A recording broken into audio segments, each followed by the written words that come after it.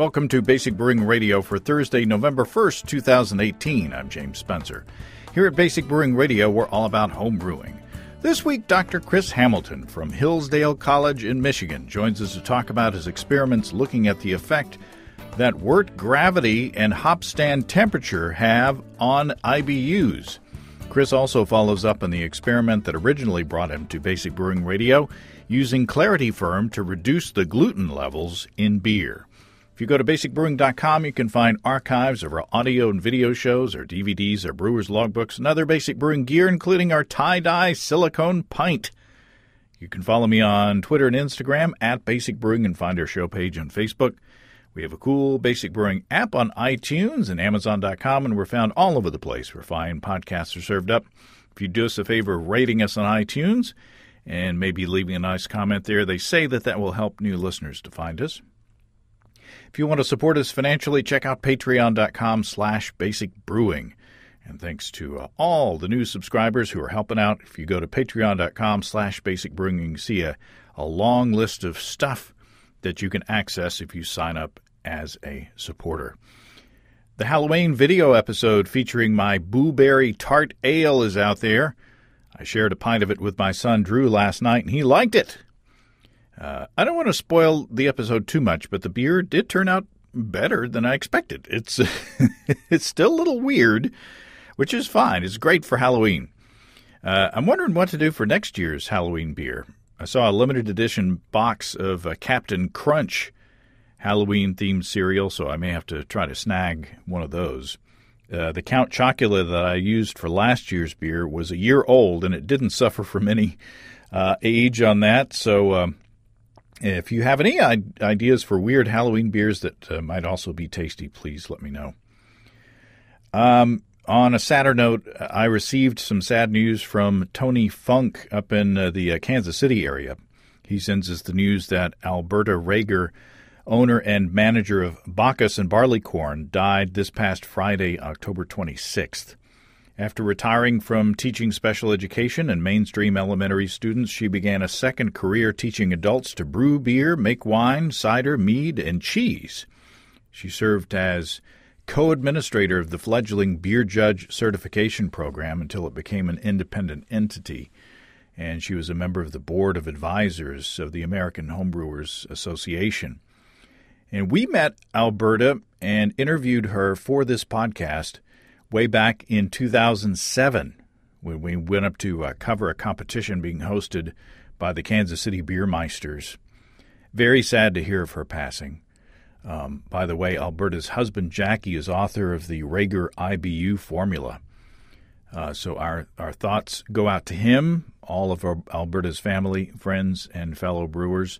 And uh, I still have a pint glass from that competition, and I will raise it this evening in Alberta's honor. So thanks thanks to Tony for letting me know. On to better news. I got some good comments on last week's show featuring the experiment that Alex Roberts and I did on wort chiller water flow. Brandon from Easley, South Carolina writes, What I began doing because my tap water won't chill below 88 degrees Fahrenheit, I got a cheap submersible water pump, a 30 gallon trash can full of ice. We have lots of those 20 pound $1 places here, and my immersion chiller. I pump the ice water through the chiller and collect it in a separate trash can to use on another batch if I'm brewing on the same day, or for something else. I usually get my wort chill down to about 60 degrees Fahrenheit in about 20 minutes. It only takes about half of the trash can of water to do it. And P.S. Brandon says, uh, I wasn't paying attention one time and chilled my wort to 45 degrees Fahrenheit before I checked it. Oops. Thanks, Brendan. Uh, Neil from Ames, Iowa writes As a frugal brewer, I've tried several things to chill my wort quickly, but without using a large amount of water. I'm also something of a traditionalist, so I don't use any pumps, gravity only. I even once built a counterflow chiller, but after trying to use it a couple of times and measuring how much water I used, over 60 gallons, I gave it up and went back to my tried and true method.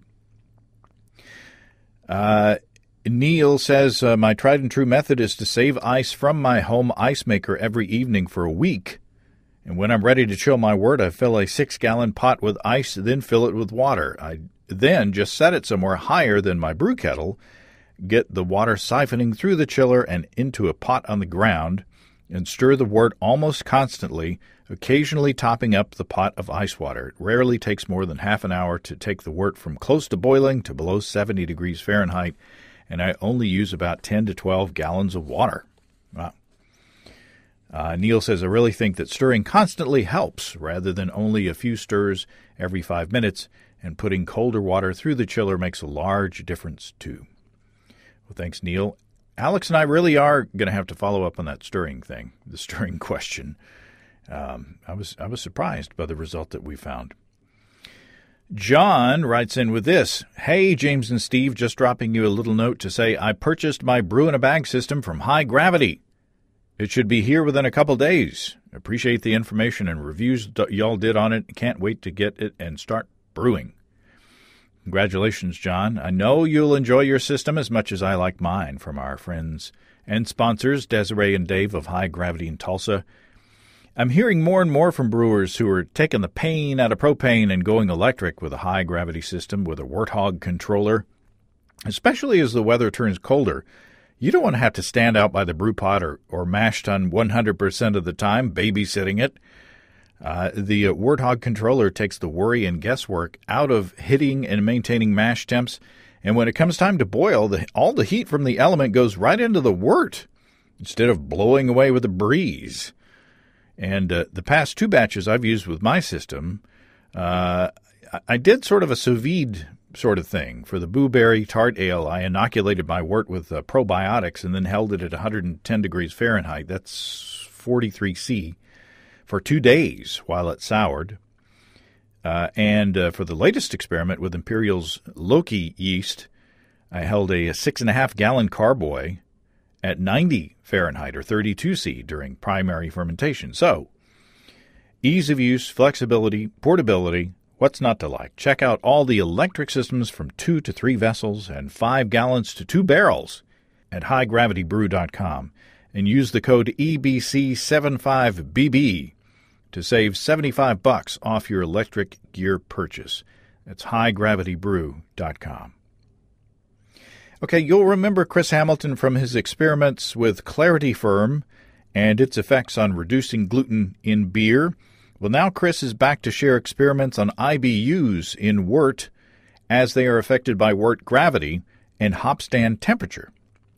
So if you want to follow along, find a link to his PDF in the description of this episode on basicbrewingradio.com or by tapping the bonus button in your Basic Brewing app. Chris Hamilton, welcome back to Basic Brewing Radio. Hi, James. Good talking with you again. I can't even remember when we uh, when we last met. It's a few years ago. Yeah, it was at the uh, when the uh, American Homebrewers Association meeting was uh, in Grand Rapids, and we uh, met in a lovely hotel room. Yeah. and your experiment that you shared with us then was on uh, the effect of Clarity Ferm on gluten in beer. And I have to say that that was one of the most uh, Im- impactful uh, experiments, or at least influential experiments. Mm-hmm. Uh, several people have been impacted by your results. Uh, in a good way. Not. Anyway, in a good way. It's not always good to be impacted, but you know. no. but uh, but but really, the the you know the results of that experiment uh, have made uh, you know some positive uh, impacts mm-hmm. on on brewing, uh, both on the yeah. professional and and homebrew scale. Yeah, it's good to see. And uh, you know, after your show, I, we did the stuff on uh, beerandwinejournal.com too, and that was uh, been read a lot. And I know we've talked by initially by email a lot, and I've gotten a lot of emails about that uh, since. And so we've actually carried on some of that research too uh, over the years, and I can tell you a little bit about that if you're interested. Yeah, let's get an update. So, uh, so, uh, so for people that haven't heard the show, but is about you know using Clarity Ferm, uh, which is also known as Brewers Clarex, uh, and you know using that to break down uh, gluten in beer to essentially make a beer with very reduced gluten, you know something close to gluten free or as close as you can get using um, barley or wheat. Uh, and so our results, you know, then you guys did the tasting on the show, and the, the experimental results that we did uh, showed that the beer essentially had, you know, undetectable levels of the little uh, proteins that are left over from gluten. Essentially, the way the enzyme works is by chopping up into little tiny pieces, so that some of those pieces are still left over. But the idea is that they won't cause a problem to someone who has celiac disease. And so, um, one thing that was really interesting is I've had some students uh, continue that work, and uh, one thing was kind of one of these accidental findings. Uh, I had a student we wanted to use a different yeast, and so we saw these mangrove jackies came out a few years ago in the U.S. market.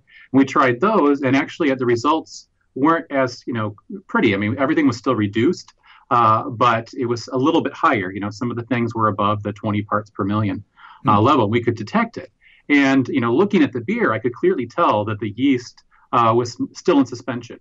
Uh, it had it didn't flocculate nearly as much, and we intentionally don't use any fining agents uh, because we want the enzyme. You know, we don't want to like uh, bias it in any sort of way. We want just the enzyme to be doing things. And so we thought, well, maybe the yeast uh, flocculation is playing a role.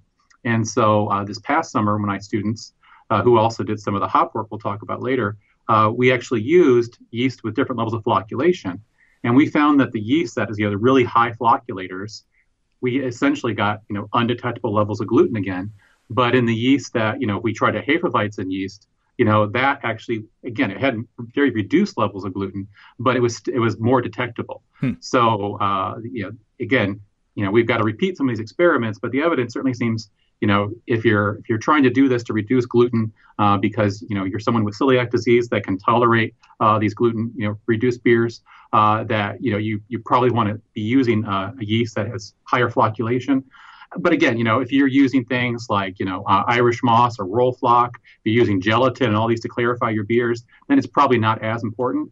Uh, but uh, our hypothesis is that, you know, you know, yeast are known to bind to a lot of things, and probably the yeast are binding to some of the proteins that are in the beer, and you know, gluten and the barley hordeins. These are proteins, and so we, we think what might be happening is since they're binding to the yeast, that it's not accessible for the enzyme to break them down. So either by you know by clearing your beer and getting rid of the yeast, you're helping reduce the um, the amount of uh, gluten or hordein um, that's that's in the beer. Uh, so either you know using a higher flocculant yeast or using fining agents to kind of cut those down. I was going to ask what impact uh, that would have on hazy beers, but I guess with hazy beers you're probably not going to be using Clarity Ferm because you want them hazy. Right. I mean, well, it depends. And, You know, the thing is, you know, Clarity Ferm is really designed to. I mean, the initial reason for it uh, was to you know get rid of chill haze. It wasn't meant to be a fining agent like you know Whirlfloc is, or like uh, some of these other products are. Uh, even like Isinglass, it's it's doing a different sort of thing. Uh, so I think a lot of people you know don't know what it was originally for. It's like if you had a, like a hazy IPA recipe and had a Clarity Ferm, it's still going to be a hazy beer. Uh, because, but uh, you know whatever the yeast is doing um, in your hazy beer, that's a different story uh, and something that we're still trying to work out exactly what's going on. So, for those still uh, not brewing uh, like the zero tolerance guys uh, or the mm-hmm. ga- guys and gals uh, from that uh, home brewing club, they're brewing gluten free beers with no gluten in their right. ingredient list at all. But for those who are still brewing, you know, typical beers, traditional beers, and then wanting them to be as uh, gluten free as possible for their uh, the people that they're serving. Uh, having a more flocculent uh, yeast sounds like the way to go. Yeah, I would I would definitely recommend that, and certainly you know use your fining agents, use Whirlfloc or Irish moss or something like that as well. Uh, again, using the enzyme, it should you know chew up most of the proteins, but again, you know 99.9% is is good enough for for most people with you know uh, that have gluten dis, uh, intolerance, but you know, for some people, they are really hypersensitive to them. So I think, you know, the zero tolerance guys, for some people, if they want beer, that's all they can do.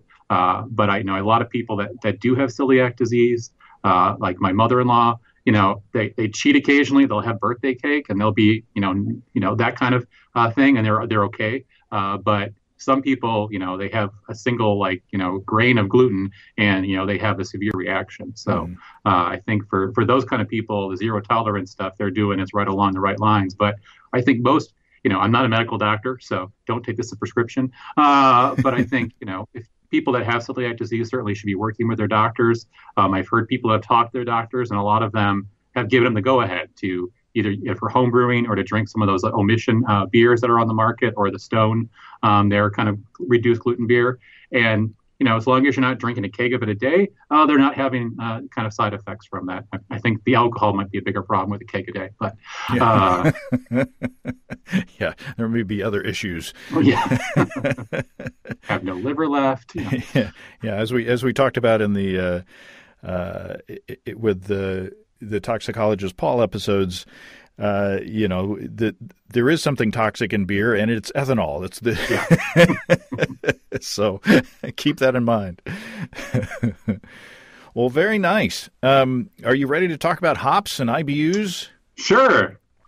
Now, you you recently attended a, a an, an, event, uh, yes. uh, and, uh, actually presented at the event. Where'd you go? I What'd did. you do? So I went to the uh, European Brewing Convention, uh, their uh, recent advances in hop science symposium uh, which was in September. Uh, it was actually in uh, primarily in Nuremberg, Germany. Mm-hmm. So I got to present some work there that one of my students uh, named Chris Huffman did with me this past year. and so we were looking primarily looking at you know hops and looking at the effect on IBU utilization.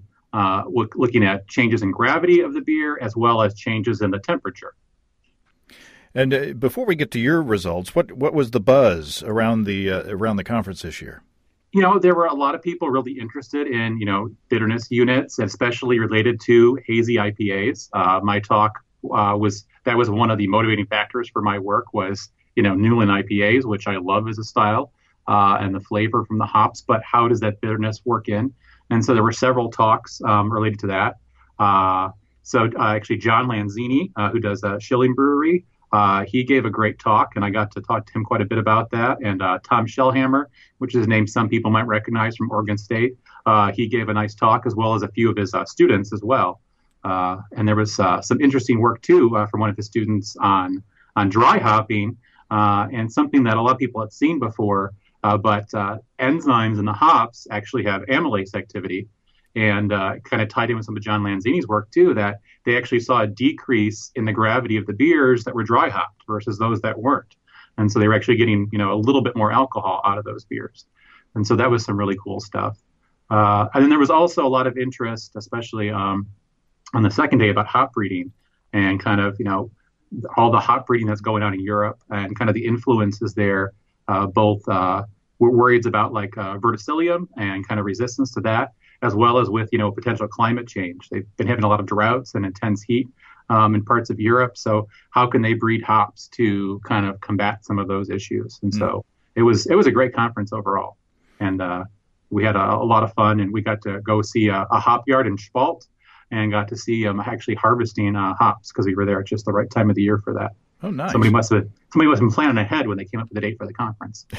so yeah, that's all. That's fun. I've I've seen hops harvested uh, a couple of times, and it's mm-hmm. it's amazing. You you don't you don't realize how how big and tall those uh, you know those vines can get. Yeah, it's it was it was it was a lot of fun, and everybody's standing around watching it. And of course, you know they had some good uh, German beer for us to drink while we watched them harvest hops. So it was it was a lovely evening. There's there's no good beer in Germany, is there? I, I... uh, there's a few, you know, if you know where to look. You know, they're just getting like started. Every restaurant, every grocery store, you know, every bar. Oh yeah, I'm, I'm jealous. I'm jealous, Chris. Uh, well, uh, well, let's talk about what you did. You mm-hmm. you, you covered two areas. Uh, first of all, uh, the the effect on gravity uh, mm-hmm. of uh, the wort on IBU uh, utilization or hop utilization. So, right. what what was your methodology? How did you figure this stuff out? So, uh, yeah, the big experiment. Essentially, what we did is we brewed a lot of beer, but we did it on a small volume. And so, since we were doing so many samples, we did basically effect- effectively one liter batches of beer. Uh, and so, and we wanted to do this uh, with different hops, and we wanted to do it at different gravities. So uh, for the for the first of experiments looking at gravity, we actually did 64 separate batches of beer. We would do like four at a time, but that was still a lot of uh, brewing going on. Um, and so to simplify things, we didn't do all grain. we used the same uh, brand of uh, Muntons dried malt extract to make up our our worts for the our, our, beer, and we didn't actually ferment anything. That's something I should point out too. Is we're looking just at the wort, uh, and that's important because when we're talking about bitterness later on, that's a little bit different than most people are thinking about. so for the for the gravity work, we did four different gravities, and so we made beer that was uh, we did it in Plato, uh, but I'll give you the conversions in a little bit. Uh, we want to do Plato because that's where most of the brewing science is, and it was in talk was in Germany as well, which is what everybody over there is using. So we did the beer, the, the wort gravity at five Plato, ten Plato. The goal was to get to 15 and 20 Plato. We didn't quite hit those, uh, but the idea was to give us a wide range of gravities. And for those of you know you don't you aren't used to the Plato scale, a five Plato uh, wort is about you know 10, 20 uh, and a, a, 10 Plato would be about 1040. Uh, it's not quite linear. Uh, 15 Plato is about 1061, and 20 Plato is about 1083. Uh, uh, one thing I should say is that was our goal when we started out, and so we would we calculated the amount of dried malt extract we'd have to add to water. Uh, we, we, did we ended up boiling these all for two hours, mm. and so because we wanted to do because a lot of people will do a two-hour boil to try to get you know better hop utilization. And so we had to kind of, you know, figure out how much boil off we were going to get. And so we based our boil off experiments on like, you know, the five Plato, 10 Plato uh, worts. And, you know, for those, we hit those pretty dead on. We knew, okay, it takes about, uh, we start off with about, you know, 1.45 liters of water, add our dried malt extract, and then we get to, after two hours, get to one liter. Uh, well, we did those same calculations for the 15 and 20 Plato, but we actually didn't get as much boil off uh, you know, should have thought ahead. Oh, it's a much thicker solution, so it's actually going to boil off more slowly because hmm. uh, there's more sugar present. Uh, but in the end, it just didn't matter that much because okay, we had a 14.5 Plato wort and a 17.5 Plato wort. Those numbers are just as good to use for analysis as 5, 10, 15, and 20. Uh, they just you know don't have the nice round you know effects to them. Mm-hmm. So, uh, so what we ended up doing is uh, we chose two different hops for these experiments. So we had those four gravities, and we brewed everything um, in duplicate, uh, and we used both uh, uh, Cascade hops and Citra hops. Uh, so we wanted to use hops that had kind of different alpha acid percentages, and so the Cascade hops, I, I'm thinking were around seven, seven or eight percent alpha acids, and the citras were uh, just over 13 percent alpha acids. Uh, and so what we did then, uh, and slow me down if I I'm missing some details for you, but uh, what we did is we would do an individual gravity, and so if we wanted to do our five Plato beers that day, we would do four or five Plato beers, and we would add different amounts of a single hop to them. So our one, we'd add half a gram of hops to, and then one gram of hops, and then two grams of hops, and then three grams of hops. And we'd have those four beers uh, going that day or uh, that part of the day. Um, and then we'd repeat that with, you know, the, so we do it twice with Cascade at that gravity, repeat that twice with Citra at that gravity, and repeat that. And then we would do all the other uh, the gravities of the beer. Uh, and so that's obviously a lot of beer. And you think, okay, 64 different beers for that. Well, the important thing, you know, how are we going to test the hop utilization?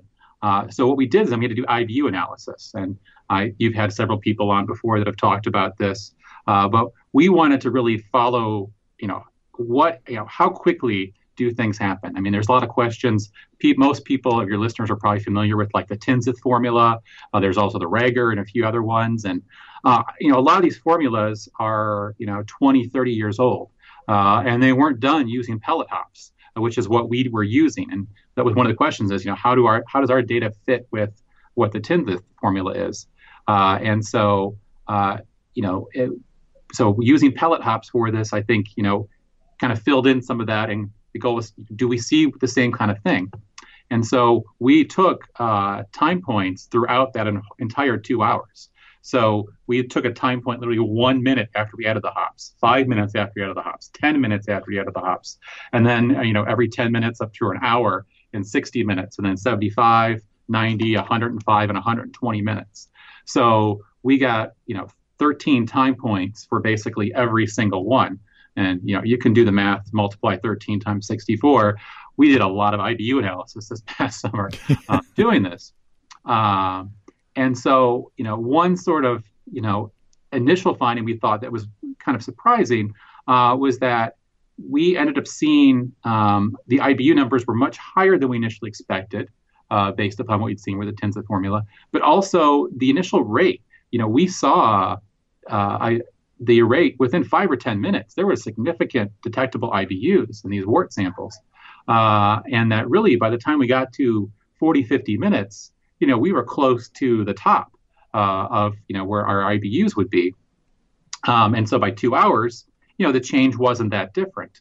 Uh, and, you know, uh, one thing of talking with uh, Tom Shellhammer at the, um, the EBC Hop Conference uh, was that uh, his thought was that it's possible, and again, we have to do the experiment here, that uh, when you're doing this, you know, we didn't use any sort of, you know, hop spider or anything like that. We just threw the pellets in, and for those of your listeners who've used hop pellets, you know that pretty much it just, you know, turns into like dust when as soon as you add it, and it's just, you know, kind of all over the place uh, in the wort when it's boiling. And so, you know, compared to hop cone, you are going to have a lot more surface area. If you would expect a faster uh, conversion from alpha acids to isoalpha acids um, in the beer or in the wort. But it still was, you know, that didn't explain the whole thing. And so he thought that maybe what's happening is even though you know, we would pull our samples out using a pipette out of every for every time sample, and we would take about six mils out, and we'd immediately put it into a tube and ice it. And they were pre-chilled tubes. The idea is we want to lower the temperature to be, you know, as close to zero degrees Celsius as we can, as quickly as we can and you know probably within you know within like maybe two minutes you know that the, those samples were cold. Mm-hmm. and then we would throw them in the fridge after that. Uh, so that the idea that you know there might be a little bit of a lag with the temperature but it dropped really quickly. Uh, you know his thought was even though we were doing that is, is that there might be some really fine particulate hops that are still suspended in solution which might uh, be ex- you know like well you're not going to convert any um, anything to iso isoalpha acids at that point uh, but something I learned uh, from John Lanzini was that, you know, when you're dry hopping, you actually dec- your IBUs in your beer stay about the same, but the iso alpha acids in the beer actually drop, and the alpha acids that are dissolved actually go up. So alpha acids were were interestingly were a little bit more soluble in this, these cold temperatures, and so that maybe we're seeing a little bit of that going on um, mm-hmm. over time. So uh, we definitely need to look at uh, you know, maybe possibly doing some filtration and seeing does that give us a difference. Um, yeah, I'm looking so, at this chart, and uh, I'll post uh, a link to your PowerPoint presentation in the description of this episode mm-hmm. on basicbrewingradio.com. And uh, if you have the app, uh, you can click on the little bonus thing. Uh, button there uh, on this episode and, and find it. But if you look at this chart that says E1 time versus total IBU, yeah, the the level of bitterness jumps up. I mean, mm-hmm. it, it, it, jumps up and is a flat line, like within what fifteen minutes. I can't use. I mean, yeah, it, it gets up there, you know, really quick. I mean, the uh, depending on which one you're looking at, really by yeah maybe 20 minutes, the increase is really slow mm-hmm. uh, after that point. Uh, I you know really in most cases by about 40 minutes, 40 50 minutes, you're kind of at the maximum uh, kind of total IBUs. And if anybody's looking at the slides later on, I say total IBUs. Essentially, normally when you think of IBUs, it's more of a concentration, uh, but we kind of factored in, well, what's the actual volume of the beer? You know, because we were looking at the sample throughout, you know, over time. Well, the volume of the beer at 40 minutes is different than the volume of the beer at two hours. And so essentially what we did is we took the IBU concentration and then multiplied that by the volume of beer to get our kind of total IBUs. Huh. So if, if that makes sense. You know, like a, a simple uh, illustration is if you had a two liters of 50 IBU beer, well, two times 50, you'd have 100 IBUs. Or if you had one liter of 50 IBU beer, you, in both cases, you'd have 50 total IBUs, even though the concentrations were very different. Hmm. So the the beer the beer might be getting more bitter over time, but just because there's more of a concentration of the uh, the isomerized alpha acids. Right. Yeah, you're just concentrating it more, um, but you're not really making more iso alpha acids. So while the so while the beer may be more bitter, you're not getting better utilization of those hop uh, materials. It's exactly. Just, it's just that there's more of them in that limited space. Right. Yeah. And uh, and there are there is a table in uh, in my PowerPoint that kind of you know describes. You can kind of people can kind of read along with that a little bit and kind of see. It's like oh well, if you really look at the utilization, it doesn't look that you know different um, over time.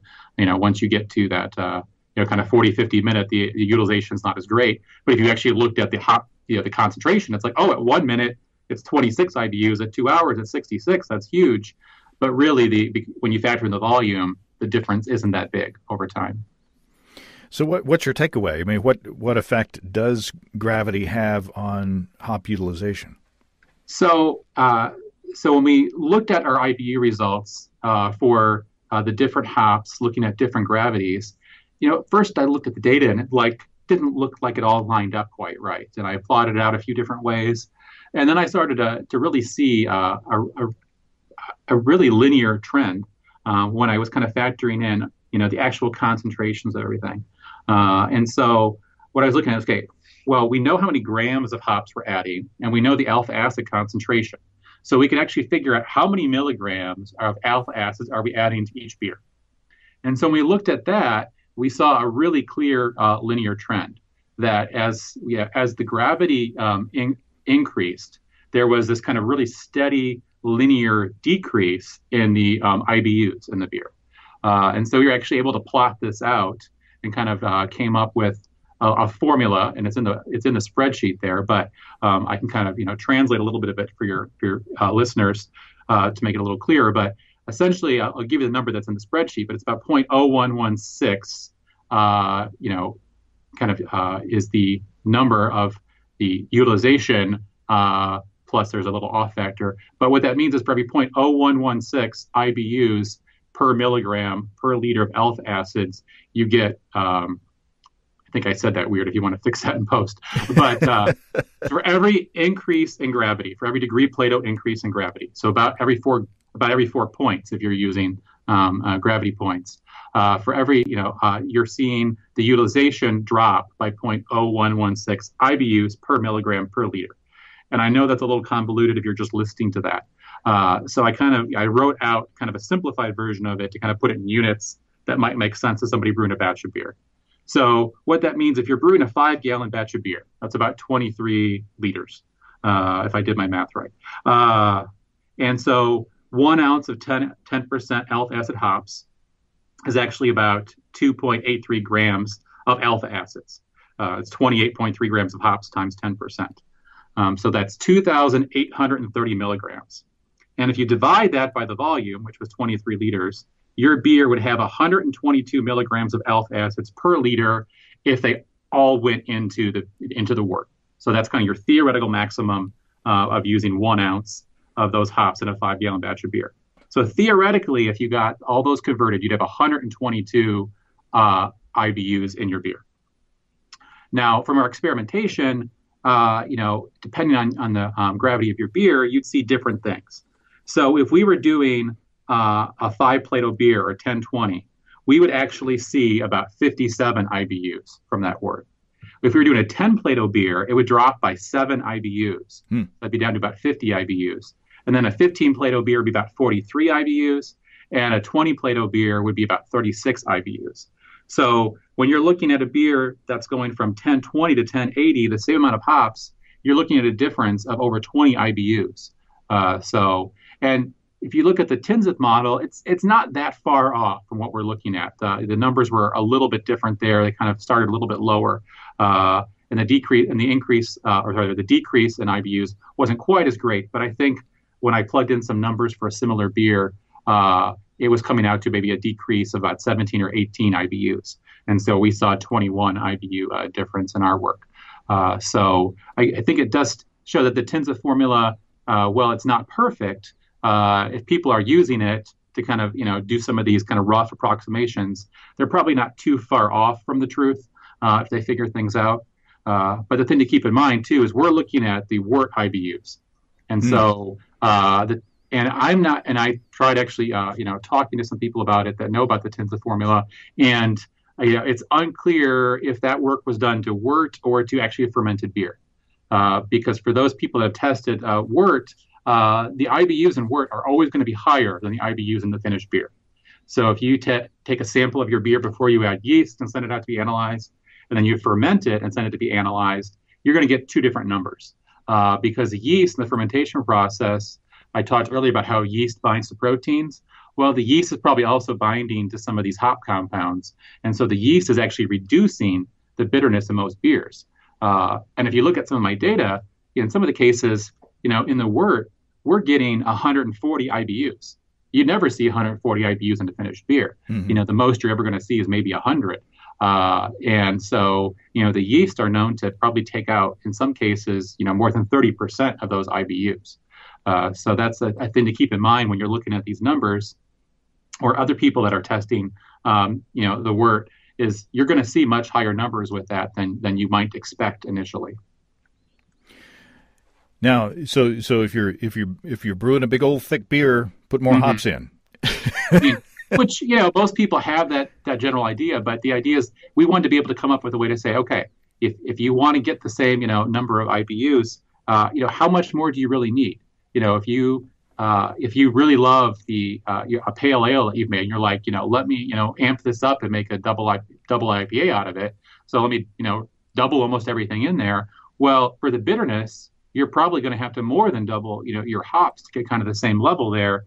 At least if you're looking just at the bitterness part of it. Mm-hmm. Uh, and obviously, uh, the some of the other work we did on temperature is going to play into that a little bit. Uh, but you know, we wanted to kind of come up with a way to say, you know, can we really, you know, get these numbers uh, down and figure out what's going on so that people can be more predictive. And uh, our hope is that you know we can verify some of this stuff in the next uh, several in the next year, hopefully, um, and maybe actually uh, get this published in an academic journal, uh, and you know maybe share that and you know kind of come up with. Uh, and there's a lot of people coming up with some modified versions of the Tinseth formula in that. I've seen some that really uh, recommend, you know, uh, drops over time in the IBUs, and I don't think that's really happening at up to two hours. I don't think we're really seeing de- uh, degradation of IBUs at that point. But uh, but if we, you know, kind of, you know, look ahead, you know, can we come up with a way to either either improve the Tinseth formula or come with a new formula, really using, you know, hop pellets or you know how are and we don't know this yet, but you know how are some of these new cryo hops and how are all these things kind of playing into the bitterness um, game because, and especially as we look at New England IPAs and late hopping, you know, how many, you know, how many IBUs do you get from a five minute boil uh, or from just steeping? And so that's kind of one of the other questions we were trying to look at this time. Yeah. Are we going to see a Hamilton formula out there? Uh, you know, I don't know. Maybe someday we'll we'll have to see how. Uh, if we can repeat the work, you know, I'll, I'll be happy to. Uh, you know, once uh, I mean, obviously this has all been repeated, but once we do some of the filtration stuff, uh, once we do a, a, little bit more with the temperature analysis, uh, you know, I'm, and if, if, you know if I have enough to get it published in academic journal, I'll do that first, and then uh, can put the data online for people to kind of you know play around with themselves, and maybe we can come up with you know I, I, told my student who did the work that I have to give him at least half the credit we know the formula. So it had to be the Hamilton Huffman formula. Uh, it's starting to sound like a comet or an asteroid. now, yeah, you know my frustration with the the IBU formulas. You know the the uh, well, my beer, you know, I used Tinseth and it and and my IPA didn't uh, fit in the style guideline, so I switched over to Daniels and it fit just fine. So. you know, I mean, if people are consistent with what they're using, knowing your system, I mean, I think one of the problems with the Tinseth formula too is intentionally when when Glenn Tinseth came up with it, he put in some adjustment factors for people's own systems. And if you use a lot of these websites, they don't have the default way to change these numbers around. Mm. So you're kind of stuck with kind of the default. I mean, one thing that bothers me with some of these formulas is they have oh click a button for hop cones or hop pellets, and there's a different number. Well, he never did any work with hop pellets, and actually uh, so all the number of hop pellets, people say, oh, they're about 10 to 15 percent more. And uh, when I started this work, I kind of just looked online and plugged in the exact same recipe into about eight different IBU calculators using the so-called Tinseth formula, and I got seven different answers from eight different calculators. so if you're using a, calculator, uh, just stick with one, uh, and you know evaluate your beers. And if you brew a beer, you want it more bitter, you know you know increase your hops that way. Uh, what you know can can at least tell you you know if you if you're kind of you know using you know what we found with the gravity that it, you know at least we can say with hop pellets we kind of pretty much have a pretty good idea of what's going on uh, there. Now uh, there is a related issue that we're still trying to work out is okay we see a decrease in gravity why why does hop utilization decrease with gravity uh, is kind of uh, and actually Uh, some people are big proponents of it's the protein in the beer, and some people are big proponents of it's the sugar in the beer, and some people say it's both. Uh, and you know, I say that's a great idea for another set of experiments. Um, and so that's probably what one of the things we're going to try to work on next summer is can we nail that down? Is it both? Is it really the protein? Uh, you know, if I had to, to lean in one direction or another, I'd say it's probably the protein. Uh, but, you know, the, I know Glenn Tinseth is, is a big proponent of it being more sugar. Uh, that's kind of what he based his model off of. So, could, could it just be a saturation factor? I mean, just there's just so much stuff in the in the liquid at some point, you, it can't hold much more.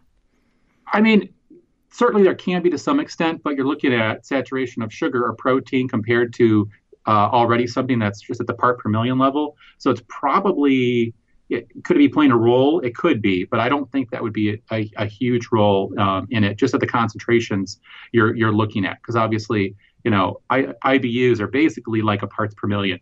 So you know 50 parts per million versus 45 parts per million solubility wise isn't that huge of a difference. Uh, so could it be playing a role? It, it could. I don't really know, but uh, I think hopefully if we do the experimentation, we'll be able to, to really you know come up with a real answer. It won't be just a bunch of people waving their hands saying, "Oh, it must be this, it must be that." so it's like my sister's sweet tea she put so much sugar in it that if she added, you know, one more grain, it would crystallize. And I need to take a gravity on my uh, sister's uh, sweet tea. Yeah, put too much ice in a solid block. Yeah. now, you also talked about uh, now in this day and age where everybody is is brewing beers and and not putting them in the boil, and putting hops in the boil, but waiting until after the flame out and putting, you know, there's talk about you know throwing the the uh, uh, IBU uh, calculation formulas for a for a loop. Uh, you know, somebody asked me uh, online on one of my videos I posted. They said, "Well, I want to make one of these beers. How do I figure out the bitterness?" And I was like, "I don't know." Just put put the exact number of hops I did, and it tastes pretty good. so, so you did what? Your other segment of the of the test mm-hmm. was uh, looking at uh, the effect that uh, basically hop stands at different temperatures right. uh, have uh, on IBUs. Yeah, so uh, essentially our setup for the experiment was very similar to what we did for the gravity work, except uh, we just stuck with one gravity of the beer. Uh, we kind of followed the same recipe we did for our 10 Plato beer, but we didn't actually boil it for two hours. We kind of just boiled it for a few minutes with no hops in it um, got it to a boil, and then we reduced the temperature. And so uh, we made uh, we did it at 70 degrees Celsius, 80 degrees Celsius, and 90 degrees Celsius. Uh, so if you're stuck on Fahrenheit, you can do your own conversions. Uh, well, okay, 70, so, 70 would be about 160, 80 would be about 180, 90 is around what, 195? Yeah, that and, sounds about right. And then 100 is boiling. Right, 100 is boiling 212 degrees Fahrenheit, depending so, on your altitude. right, you know, for every for every 10 degree drop in, in Celsius, it's an 18 degree drop in Fahrenheit. If you want to do the math that way, um, so we're looking at a difference of 18 degrees Fahrenheit or 10 degrees Celsius uh, in each of these beers. And uh, again, if you for those of you that look, look at the slides that James posting um, for my presentation, I put you know the the the boiled kind of uh, wort data along with all the lower temperature data, so you can kind of see. And again, we saw very quick increases in IBUs, even at, at minute number one uh, in these beers. We're seeing significant IBUs, and so with the hop stand beers, it's not different. Uh, we still saw. Uh, in in all of the reduced temperature uh, worts, uh, like the hop stand beers, we saw um, IBUs. Now the numbers, you know, kind of at one to five minutes, are probably for you know there was uh, were all about half of what we saw in the boiled beer.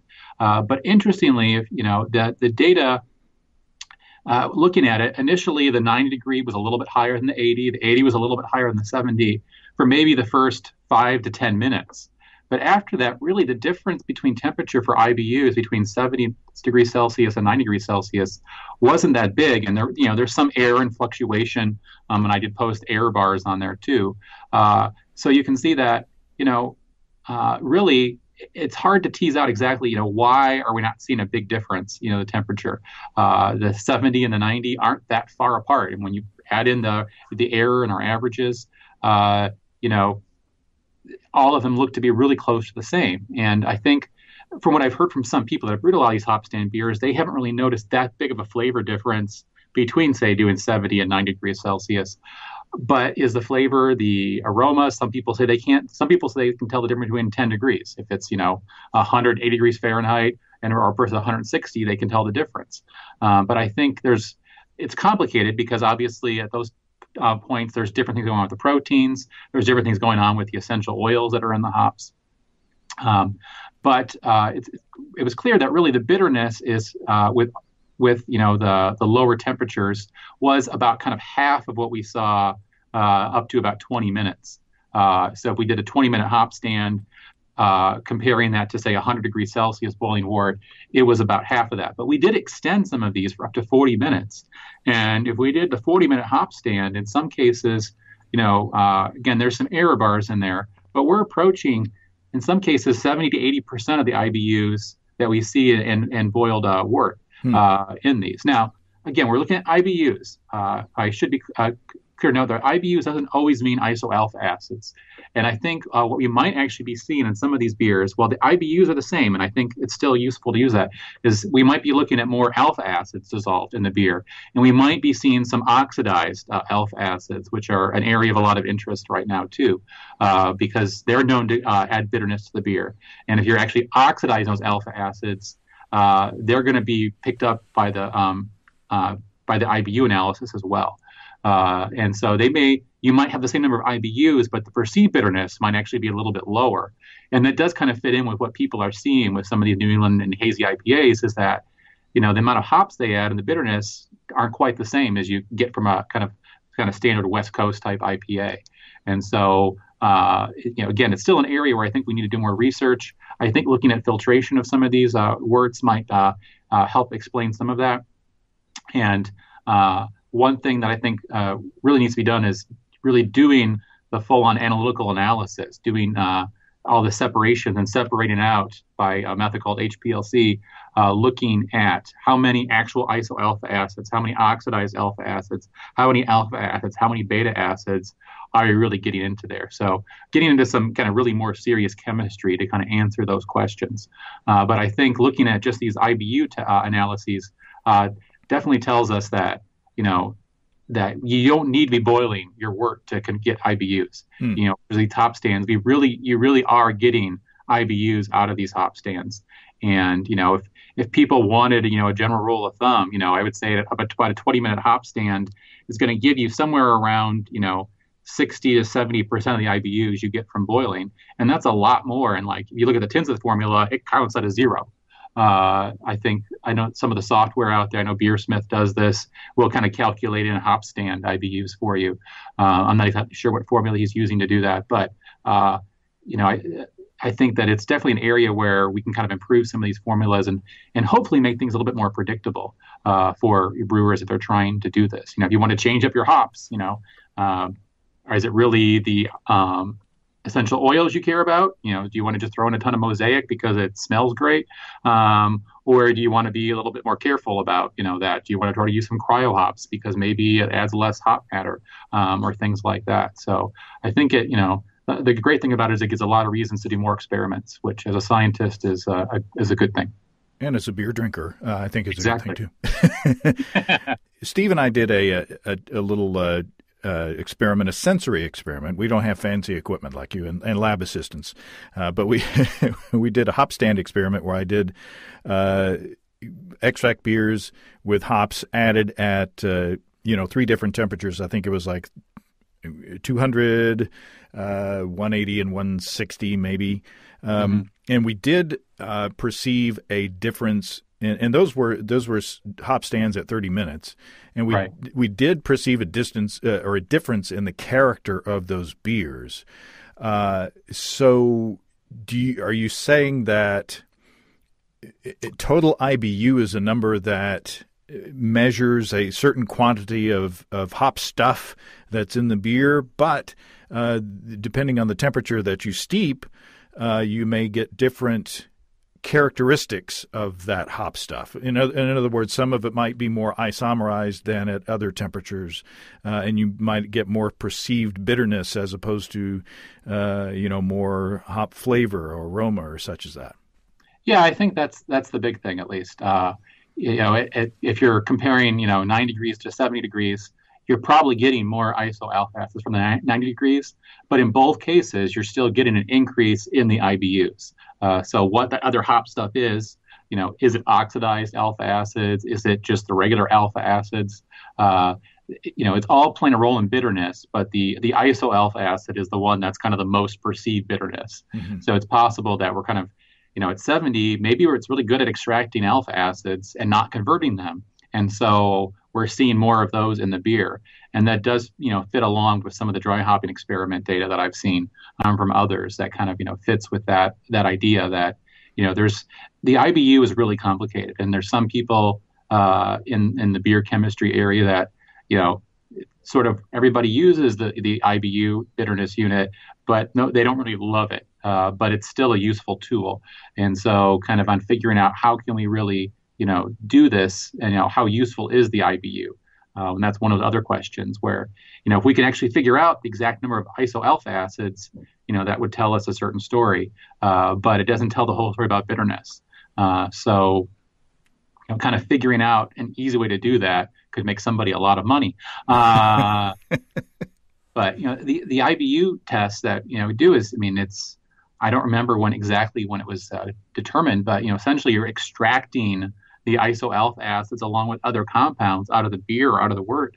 And you know the the technology behind some of that is you know 40 50 years old uh, that we're doing now and they're you know it's based on methods that weren't that different that go back even farther so it's it's a really useful technique but also you know it's one of these where you know you you can't tease out just one thing very easily. You're looking at three or four things um, that are there. Even if one of them is the most important thing, you know, the iso alpha acid, well, maybe in a regular beer, only 85% of the IBUs are from iso alpha acids. The other 15% are from other things. Uh, and in these hop stand beers, it could be very different. It could be, you know, uh, in a boiled beer, maybe you know it's the 85%, but in a hop stand beer, maybe the IBUs are only 40% from iso alpha acids or 50%. Uh, and so that's kind of one of those kind of really interesting questions and looking at the perceived bitterness. Uh, so, you know, it's kind of, you're getting to the point where, you know, the, the science, uh, the science side of beer and the art form of beer sort of, you know, collide and we, we just both say, I don't care as long as it tastes good. Uh,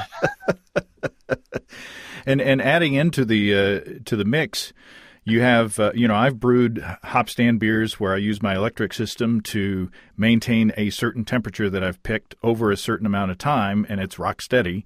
And then mm-hmm. I've also just, uh, you know, brought the beer up to the boil, turned off the heat, threw in the hops, and then, you know, let the, the natural you know mm-hmm. cooling curve happen at whatever the ambient temperature you know around it influence so mm-hmm. you know that's an added uh, variable that you've got to put in there yeah and you know, I can say, you know, when I brew beers at home, I'm not quite as a- analytical with everything. And you know, I, I, actually did a beer myself that way.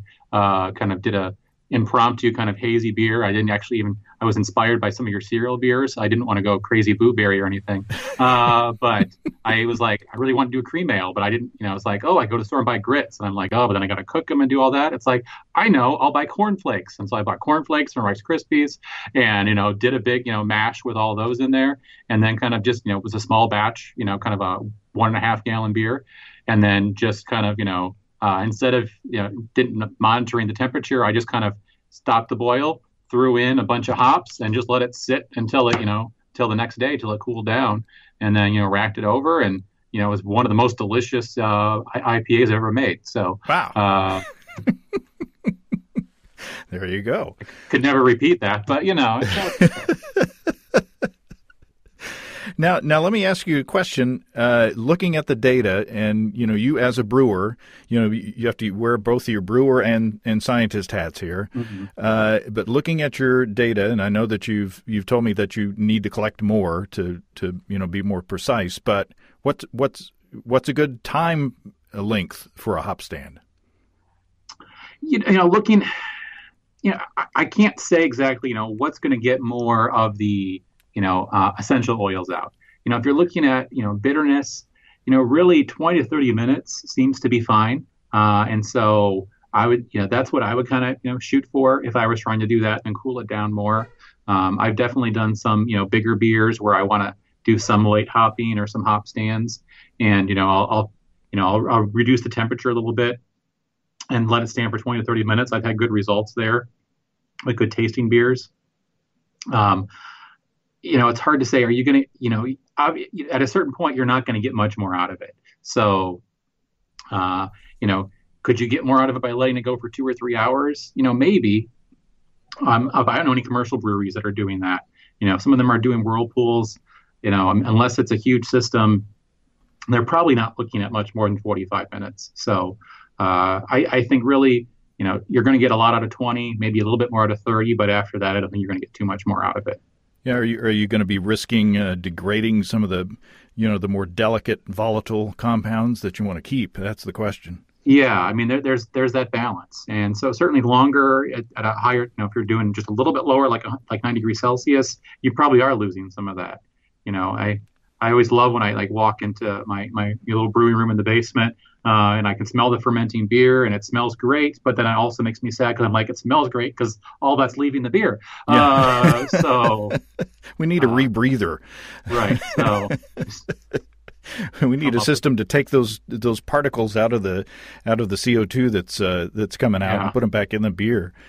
Uh, yeah, it, yeah, it is. It is happy and sad that occasion when right. you smell the beer and it's like, wow, that smells really good and then oh, it's not going to be that's not going to be in the beer. That's gone. Yeah. That's, that's, that's just like that's just like potpourri for the guest bathroom here. That's what a lot better than potpourri. Anyway, it's it's hotpourri. Uh,